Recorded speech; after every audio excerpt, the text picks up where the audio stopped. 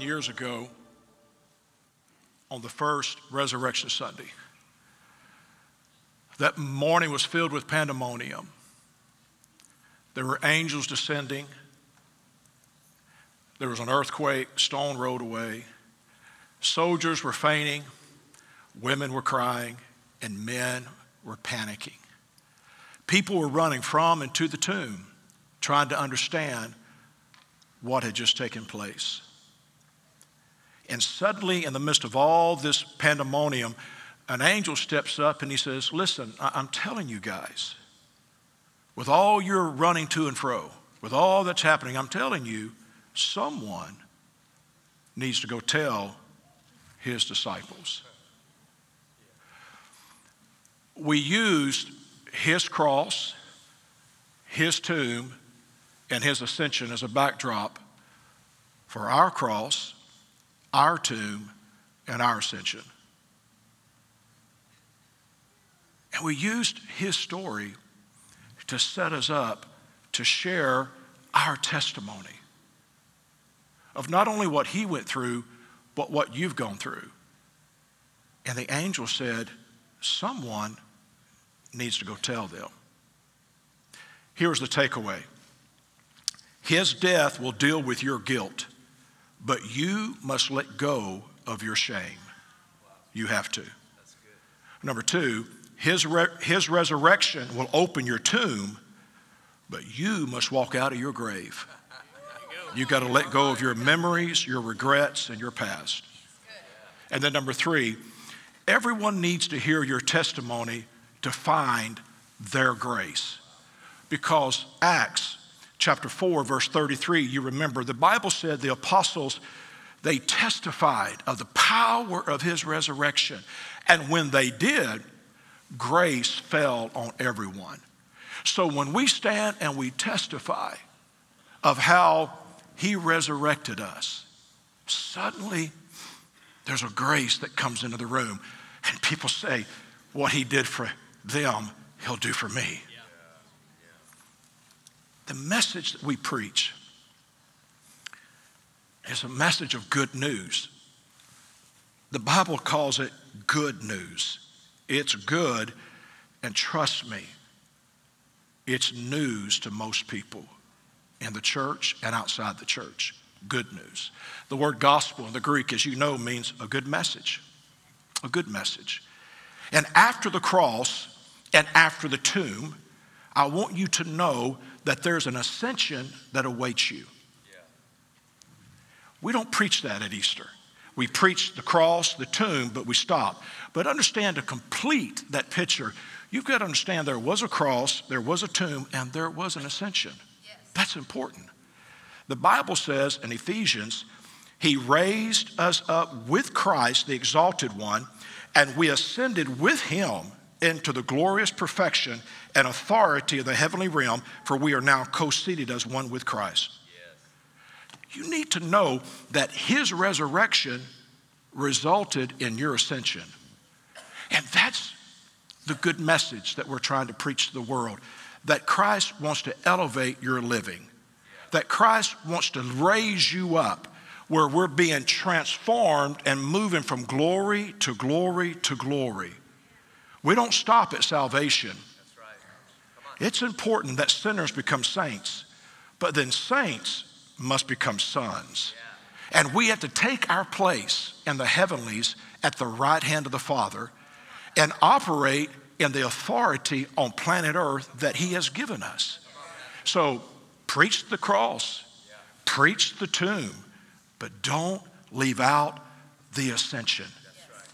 And as the angel said, someone needs to go tell them that there was a cross, there was a tomb, but there's also an ascension. And He wants to resurrect you to a new level of living. Again, repeat after me someone needs to tell them. If you have your Bibles, go with me to Luke chapter 14. This is a different text than we took last week. Last week we took it out of Matthew 28, of course. But today we're going to go to Luke 14, verses 15 through 24. reading in the Passion. I'm going to read quickly. Verse 15. When they heard this. Now, I want you to notice that. That's important because when you read words like that, you need to stop and ask the question what is it they, what is it they heard? When they heard this, we'll speak more on that in just a moment. When they heard this, one of the dinner guests said to Jesus, Someday God will have a kingdom feast, and how happy, and notice this, privileged will be the ones who get to share in that joy. So Jesus has been speaking to this group of people. They're having Sunday dinner, and he's speaking to them. And after he finished speaking, this guy, after hearing this, said, Hey, wow, how privileged we as the Jews will be one day to sit at his table. Individual, as religious leaders, and national pride. And in response to their privileged attitude, Jesus, in verse 16, told them a parable. There was a man who invited many to join him in a great feast. When the day for the feast arrived, the host instructed his servants to notify all the invited guests, the Jewish nation, and tell them, Come, for everything is now ready for you. But one by one, they all made excuses. One said, I can't. I just, brought, I just bought some property. I'm obligated to go and look it over. Another said, uh, Accept my regrets. I just purchased five teams of oxen. I need to make sure they can pull the plow. And another one said, I just got uh, married, so I need to go take care of this. Verse 21. The servant reported back to the host and told him of all their excuses. So the master became angry and said to the servant, Go at once throughout the city, invite everyone you find the poor, the blind, the disabled, the hurting, the lonely, and invite them to my banquet. When the servant returned to his master, he said, Sir, I've done what you asked, and yet there's still room. So the master told him, All right, go out again. This time bring back uh, all that you can. Persuade the beggars, the outcast, the homeless, urgently insist that they come in and enjoy the feast so that they so that my house may be full. Verse 24. So I say to you all, the one who receives an invitation to feast with me and makes excuses will never enjoy my banquet. I want you to go back and notice verse 15. When he heard this, he said, We're privileged. Let's title this, Who Will Tell Them? Part two. Father, bless the reading of your word. Holy Spirit, speak to us. Let me communicate the heart of God. What you've dropped in my spirit for two weeks now, let me get this out to your people. We prayed in Jesus' name. And everybody said, Amen. Sunday dinner with Jesus. Wow. How cool was that? Luke 14, 15, when he heard this, he said, How happy we will be as the privileged. This group of Jews believed that the Messiah would set up a worldly kingdom and that they would join with him in ruling over all other nations. This assumption led to their sense of both individual and national pride when they heard this. What did they hear? They heard some stories he told in verses 1 through 14. And then in verse 15, he said, when he heard this. And in response to this privilege, Jesus told them a parable. He did this because he wanted them to hear and understand the three things he had just told them. So try to picture this. It's Sunday dinner. They've gathered around the table. They're sitting on the floor. Their tables were very low. They sat on the floor with pillows to recline on.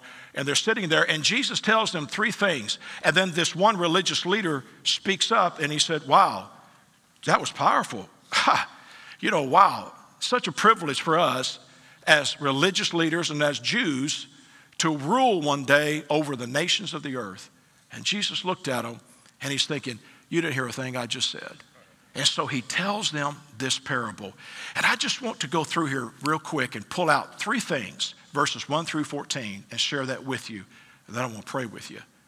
Three things Jesus shared. Number one, there was a question of healing on the Sabbath and compassion. Say compassion.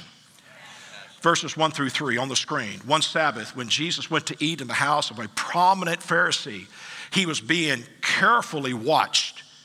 There in front of him was a man suffering from abnormal swelling of his body. Jesus asked the Pharisees and experts in the law, Is it lawful to heal on the Sabbath or not?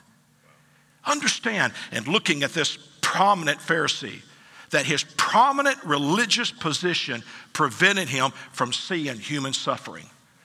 There was a man, swollen, standing in front of Jesus, and this prominent religious leader never saw the man. All he could do was watch Jesus. He was watching Jesus, keeping an eye on what he was saying and what he was going to do. Religion will keep an eye on you. They wanted to make sure that he behaved himself. Religion will always try to put limits and restrictions on you. They wanted Jesus to behave. And so this prominent religious leader kept an eye on him, but his position of privilege blinded him to the human suffering that was standing directly in front of him. And therein lies the danger for you and I. I've been in church all my life. I know how to do church. And the sad thing is, is that we're so good at it now that we can really do it without the help of Holy Spirit. We really don't have to have the anointing. Now, the anointing makes the difference and it breaks the yoke, but we're pretty good at what we do now. And the fact is, in our positions of religious prominence, it's so easy for us to overlook humanity and all of its suffering that could be standing directly in front of us. They never saw. Do you understand what that feels like? To be in a group, in a room that's filled with religious leaders, and yet no one sees you. Do you understand? There are people in this room and watching online. I know you identify with that because you come to church week after week after week and you slip in and you slip out and you feel that in all of our religious uh, uh, prominence and our, our positions, somehow religion just looks past you. It's like the homeless community in our cities. They say, We feel that you don't see us. We feel that you look just through us. We feel that you don't know what to do with us, so you ignore us. And we have the homeless, but it's in the church. They move from church to church, never really getting rooted into a church body because they just feel that people look past them. You see, it's easy. It's easy to get caught up in the program.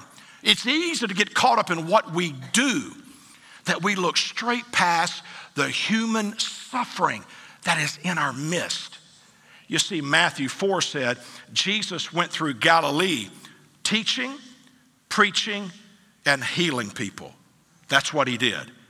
Jesus' blueprint for a miracle service. How many wants the blueprint? How many would like to have a miracle service? I got one for you. Teach the truth, proclaim good news, and then heal the people. You see, the first step in their miracle is me telling them the truth concerning His goodness. And that's what people need the gospel, a good message. They need to know that their Father loves them, they need to know that their Father cares. They need to know that we care. That's why this year I keep saying to you, God is gooder than our religion will allow us to believe. We just can't believe it. We just can't get there. He's gooder than what we think. He's gooder than what we're preaching. He's gooder. Now, I'm not talking about compromise. Don't even go there. We still take a righteous position. But a righteous position is doing the right thing at the right time for the right person. It's time for the church to have a new revelation that God is good and He's gooder than what my religion will allow me to believe. And we need to preach that message because when I teach the truth and I preach the goodness, then I can lay hands on the sick and they will get healed. Understand, God is bigger. God is bigger than what we're preaching. I'm telling you, He's bigger than what we're preaching. And we can't be afraid. You can't preach Him too big.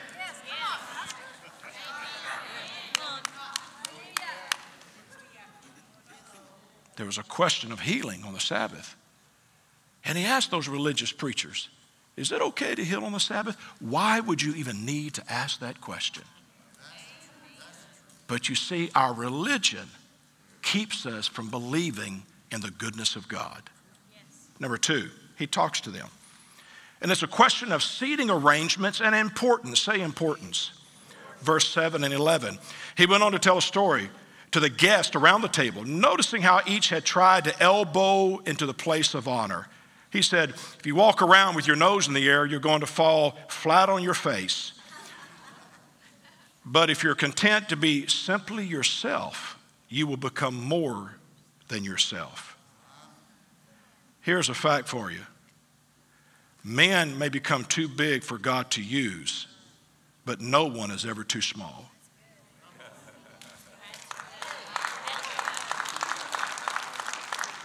We said it last Sunday super spiritual people don't inspire, they intimidate because they don't tell the whole story.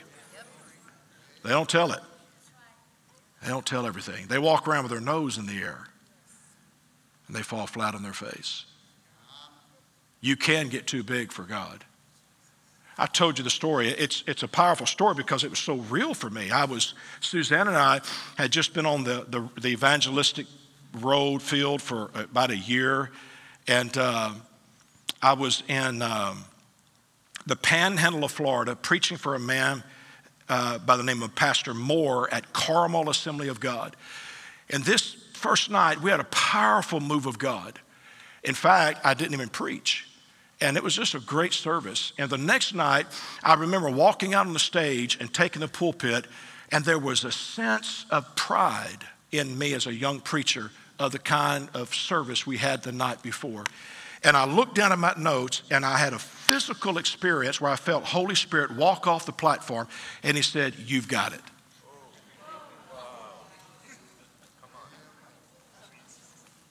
You can get too big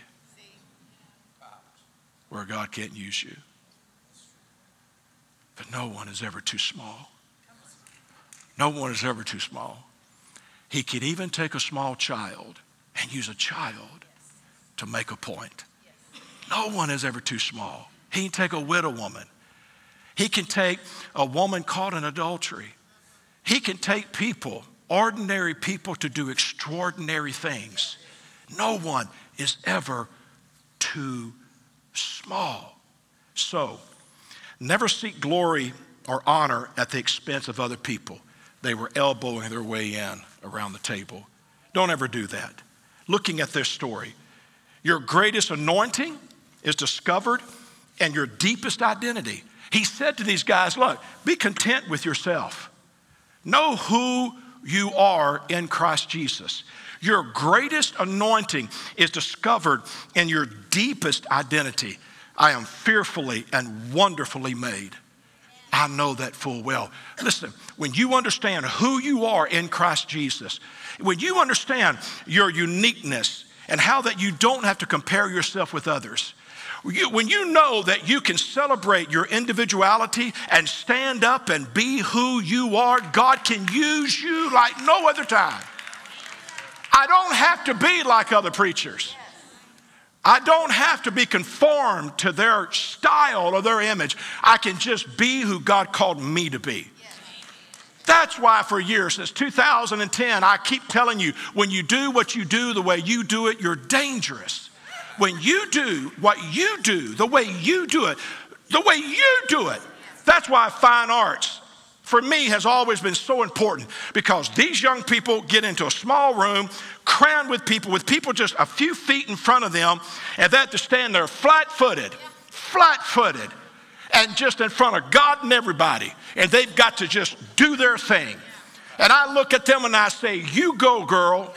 You go. Do your thing the way you do it, and watch what God can do. Saul tried to load David up with his armor, he shook it off and said, This don't fit me. This is not who I am. And with a rag and five rocks, he went out there and took the head off of the giant. You can kill your giants when you shake off the opinions of others and their expectations, and you just be who you are and strut your stuff for Jesus and stand up with a rag and a rock and watch what God will do. Ah.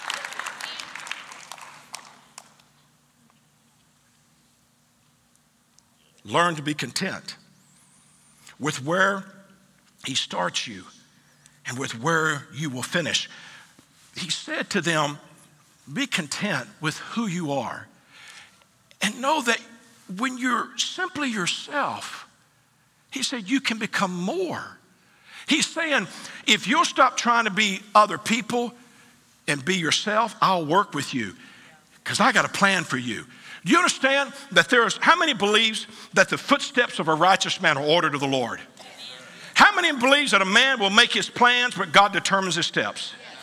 So that means that if I stay on my path, if I'm in my lane, that God will help me to become more in Christ Jesus to go from one talent, two talent, five talents, I can grow. How many wants to grow and be everything that God's called you to be? But you got to stay in your lane. But when you get outside your lane, you're going to miss your destiny. You've got to stay where God's called you. Be who God's called you to be. You can't be someone else. You got to be the man or the woman that God's called you to be. But when you are content by simply being yourself, He said, I can work with that and in fact, there's more to you than what we see. You're bigger on the inside than what we see on the outside. There's more to you. He's telling these guests, there's more to you than what we see. So just simply be yourself and know that there's more that's coming. So here we go, guys. Listen, you've got to learn to be content with who you are, with where you start, and where you're going to finish. Some of you are never going to be the president of the United States. Some of you are never going to play professional baseball. Now that I know that's devastating for some of you, but you're never going to get there. Some of you are never going to get to that stage that you have in your mind.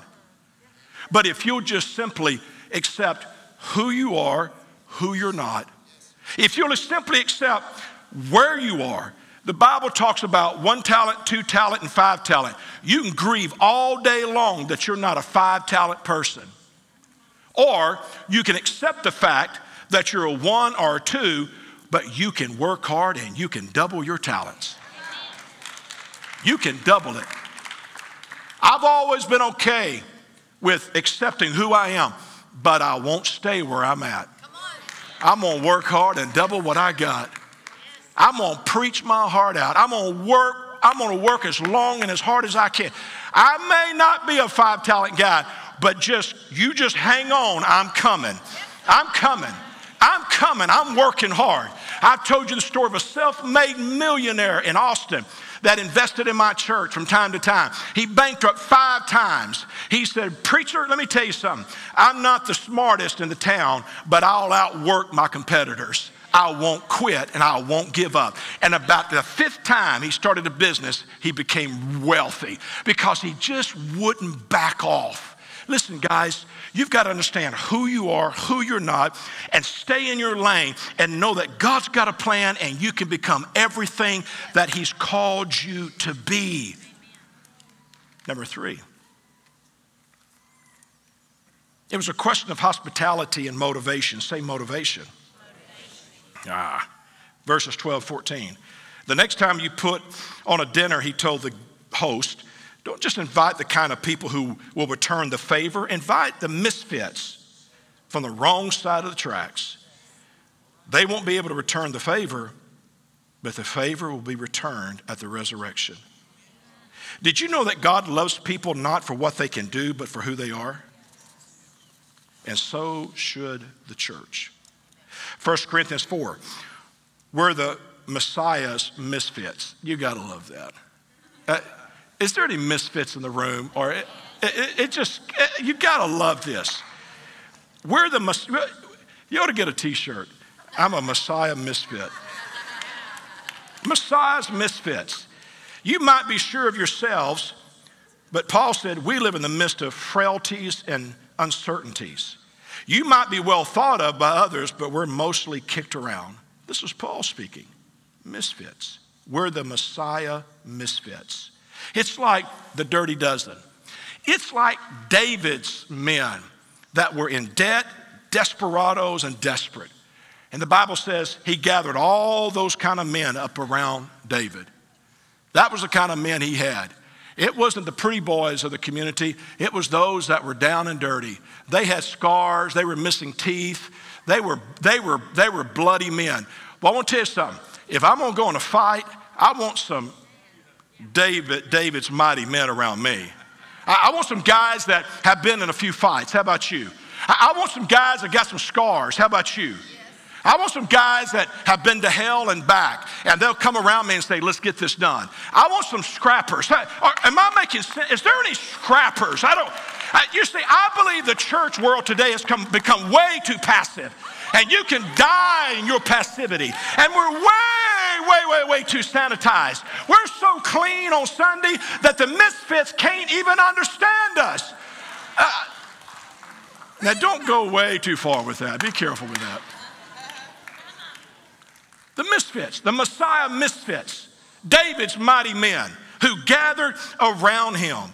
But here's the thing God uses misfits for his most important missions. If God's got a giant to kill, he's going to send that David. Listen, he fought the bear, he fought the lion, and he said, I can take this guy home. Don't worry about it. I got this. Listen, that's what God is looking for misfits.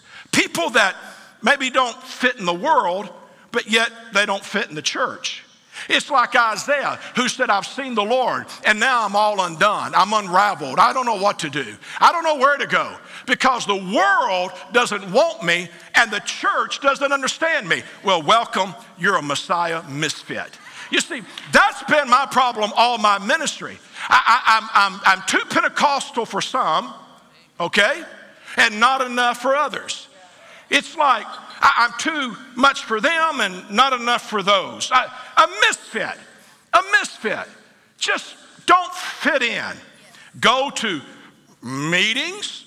I, I, I go to meetings. Suzanne and I have been to a lot of meetings with preachers and, and sit out there and just feel like a misfit. Sit out there and have them call out, perhaps, my home church and make a reference to it sit there and talk about it. And I'm sitting out there and they know I'm out there. Listen, you got to understand, you have to understand that, that God is looking for men and women that are, not, that are not afraid to not fit in, like Jesus, to step out. To step out. The world didn't want him and the church didn't understand him. To step out and to be who God called you to be the way God called you to be it. Now I'm going somewhere, just hold on. Psalms 139. I praise you because I'm fearfully and wonderfully made. Your works are wonderful. I know that full well. You need to know this full well. God made you different for a reason. Discover the reason and understand your purpose in life. Understand why you are the way you are. Those that are willing to serve the least are the ones God can use the most. It was a question of hospitality and motivation. So you see, Jesus is at dinner. And he's talking to all these religious leaders. And he said, Listen, I want to talk to you about compassion. You see this guy standing right here? He's swelled up. He's swelled up with fluid. He's in trouble. He's suffering. Is it okay if I heal him? Compassion. And then he went into second point and says, Look, when you guys come around the table, you try to your seating arrangements. Don't elbow for honor and glory and position and don't don't elbow you know at the expense of other people. You know promote yourself and promote your ministry at the expense of other people. Because you can become too big for god to use but you can never be too small. Importance. Importance. And then number three he spoke here about motivation what motivates you to do what you do? Hospitality. Invite the people that others won't invite. Invite the misfits. Why do we do what we do? Do we really want people coming to church here? Now I mean, across the spectrum. Do we want all of them? Every bit of them? Even the ones that don't always smell right? Even the ones that have luggage? Even the ones that have had some problems. Do we really want, I'm not being sarcastic, I'm, I'm just, I'm searching my heart. I hope you're searching yours. Who do we want to come into our church? You see, Jesus had Sunday dinner. And at this Sunday dinner, he told them, God is good, you're important to him, and God uses misfits. Oh. And this is the gospel, the good message. And the angel said, Someone needs to go tell them. Repeat it after me. Someone needs to go tell them that it's good news. God is good. And you're important to Him. I'm important to Him. Yes, you are. But you don't know what I've done, Pastor. I understand. But you don't know where I've been. I get it. You don't know my background and my story. I got it. You don't know the luggage I have that I need to unpack. I get it. But let me just tell you the third thing God uses misfits for his most important missions. Think about that. And when you turn your story into a testimony, it releases grace on other people's lives. The grace of God. Luke 14, verse 15. There's prominent religious leader, when he heard this, he said, How privileged we are. And Jesus responds to their assumption of privilege. How? with a parable about misfits. Stephen, come help me. You have to understand that in our text, Luke 14, verses 15 through 24, in this parable, he talks about an invitation going out for this banquet, an invitation. He said in verse 16, there was a man who invited many people. You see, it was the custom at this time to give a first invitation to a banquet, and then, when the food was ready, to send out a second call. The Greek word come means continual coming. So the host of the banquet would prepare everything. And when it was all ready, he'd get his servants to say, Now, go get the guest. And they would come out and say, Come on, come on, no, come on, come. No, no, no, no. You need to come. Come now. It's ready. Yeah, yeah, but I'm, no, come now. And you heard the three excuses that were given. One talked about business, one talked about uh, his, uh, his schedule, and then one talked about pleasure. And that's where we are today in America. We have excuses. And we send regrets. It's regrettable. It's regrettable. But I've got my business, I've got a busy schedule, or we're caught up in pleasures. Excuses. so the master of the house told his servants, okay, go out and get the misfits and tell them to come. Those that don't have a business to worry about, those that they don't have a schedule, they don't have one. And those that aren't worried about pleasure, they're worried about survival. Go get them and let them fill the seats. When I read this again, it just, you know what rattled my cage? Is I don't want someone taking my seat. Oh no. Not, I don't want I don't want the mantle going to someone else. I don't want to get like Elisha, who gets overwhelmed with depression. And it, it wasn't that God gave up on Elisha, Elisha gave up on God. And so he said, Okay, son, you're done. Take your mantle and give it to somebody else. I don't want that. I don't want to miss my opportunities. Steve Hill in the Brownsville Revival used to say that all the time. Take advantage of the opportunity of a, of a lifetime and the lifetime of the opportunity. And he give an altar call. And that's where we are today. We've come to the parable of the Great Supper, and he's calling us not only as sinners to be saints, but saints to become sons. He's calling us. And it's time to, time to cut out the excuses. I, I, will serve him when I do this, or I'm going to start serving God when this happens, or I'm going to get serious for Jesus when I, no, you need to cut that out. You, you need to cut that out. So look at what was in this. I got four minutes. You, you, can you, is your cup runneth over? Can you handle it? Hang in there, take a deep breath. Four things in four minutes, three things in four minutes. The parable of the Great Supper. Number one, conviction is God's invitation to salvation. Verse 17, come, for everything is now ready for you. Come, come right now.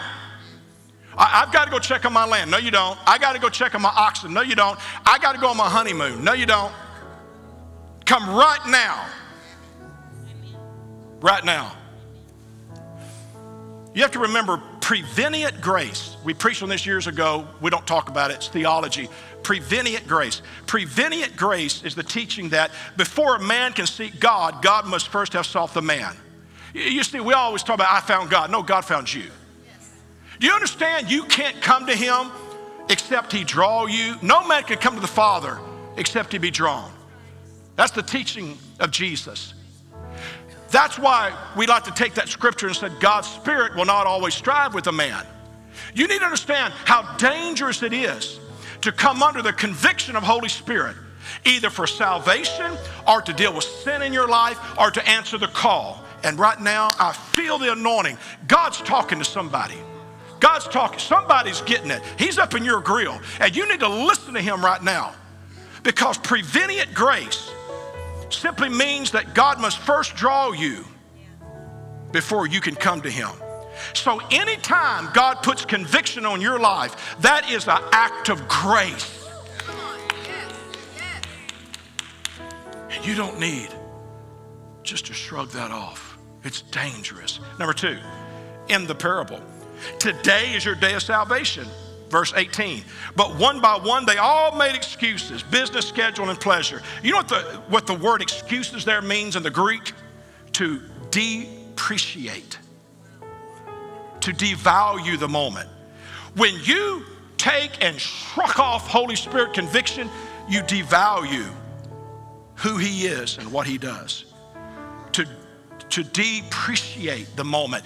Don't, don't depreciate moments like this in services where Holy Spirit is moving. Don't do it. Don't do that. That's why during the Brownsville revival, Steve would give that call and we'd watch hundreds as they would rush to the altars and fall prostrate before God because conviction had fell in the room and sinners were crying out, What must I do to be saved? Don't shrug that off. It's a dangerous thing. Be careful with that. When He moves on you, when the angels dip their wings and stir the water, get in. You say, well, what people think? Who cares? That people don't care about you anyway. Get in. Don't depreciate. Did you know that procrastination is the thief of time? Moment after moment, it steals until all is lost. Elisha what are you doing here, son? Well, I'm the only one left. Son, what are you doing here? They don't care about me. Son, I'm asking you, what are you doing here? I'm just discouraged. Okay. Go give your mantle to somebody else. You need to make sure that somebody doesn't take your seat. Make sure. Tell my servants to go out and say, Come, come, come. They won't come. Go get the misfits. Somebody that doesn't care what people think, that doesn't care, doesn't care how it looks. They came in that banquet hall with all their stinky nastiness, with all their past, all their junk, all their luggage. They came in there, and the Father's house was full with the Messiah's misfits. Number three, in the parable, God is more willing to save sinners than sinners are to be saved. God is more determined to reach the lost than the lost is to be found. That's important. Verse 23 urgently insist, he told his servants, that they come in and enjoy the feast so that my house may be full. Urgently insist. Do you understand that we must live with a sense of urgency? We got to quit being so so passive and just we got to quit all that. Listen, time is slipping away. Procrastination is the thief of time, and it's taking moment by moment by moment. Next Sunday, I'm going to make this right. Next Sunday, I'm going to go to that altar. Next Sunday, I'm going to come under pastor's oversight and get plugged in the church and volunteer. Next Sunday, next Sunday, next Sunday, until eventually I'm standing on your casket and I'm reading your obituary because you ran out of moments. To those of you online, I love you, but it's time for you to come back. It's time. It's time. It's time. There are people that, because of the pandemic, fell out of church, wrong word, that, that was distancing themselves because of underlying health issues and their age, and I respect that. But there was another group that just got out of the habit of going to church and they just haven't found their way back. You need to find your way back. You, you need to find your way back. It's time. We must live with a sense of urgency. August the 3rd, 1975 is when I was born again, about 9 o'clock on a Sunday night at 2630 South 11th Street here in Beaumont. That same year, Andraé Crouch came out with a song titled Tell Them. Tell Them. Listen to the lyrics. Tell them, even if they don't believe you, just tell them. Even if they don't receive you, oh, tell them for me. Tell them for me, please. Please tell them for me. Tell them that I love them and I came to let them know. Tell them. When it seems you are forsaken, just tell them. Though it seems you're earthly shaken, oh, tell them for me. Tell them for me, please. Please tell them for me. Tell them that I love them and I came to let them know. Tell that lonely man who walks the cold streets all alone. Tell that crying child who doesn't have a home. Tell those hungry people dying and lost in the desert, they don't even know that I care. Tell them for me, please. Tell them that I love them. Oh, just tell them on the streets and on the highways. And tell them, and even on the byways, tell them I can mend the broken heart. I can restore the ones who have parted. I came to let them know, I came to let them know, I came to let them know they must know. Tell them. Tell them. Tell them that I'm a good God. Tell them that they're important to me. And oh, by the way, tell them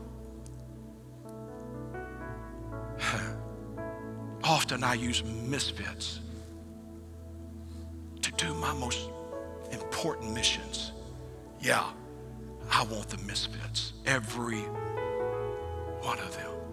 You see, on that Easter, pandemonium, chaos, confusion, fear, angels descending, soldiers fainting, women crying, men panicking, people running to and fro. The angels stepped on and go, hey, Listen, I'm telling you. Someone needs to go tell them about his story and your testimony. Someone needs to tell them about the Father.